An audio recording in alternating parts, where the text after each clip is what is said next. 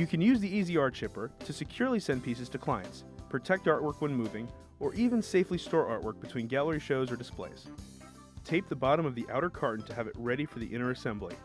Have your framed or unframed artwork and your Easy Art Shipper insert ready. Break in all the perforations on the insert.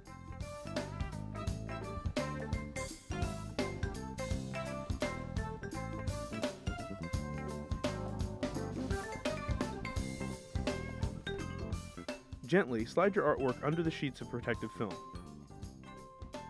We recommend placing framed pieces upside down, facing the cardboard, and unframed pieces, such as canvas, right side up, facing the plastic film.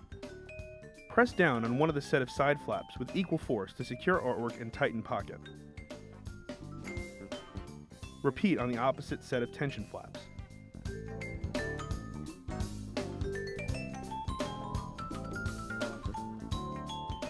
Fold each end flap upward to lock tension flaps in place.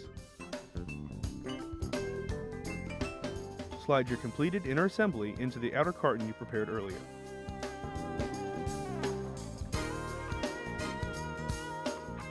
Tape the bottom of the outer carton and you're ready to ship or store your protected artwork.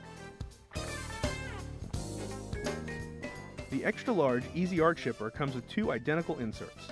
Tape the two non-perforated ends together, being careful to line them up evenly with no gaps or overlap.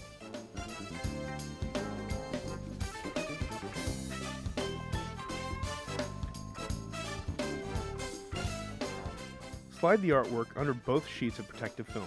The medium size can accommodate up to 20 by 24 inches, and the large size will accommodate up to 24 by 36 inches and up to 2.5 inches deep.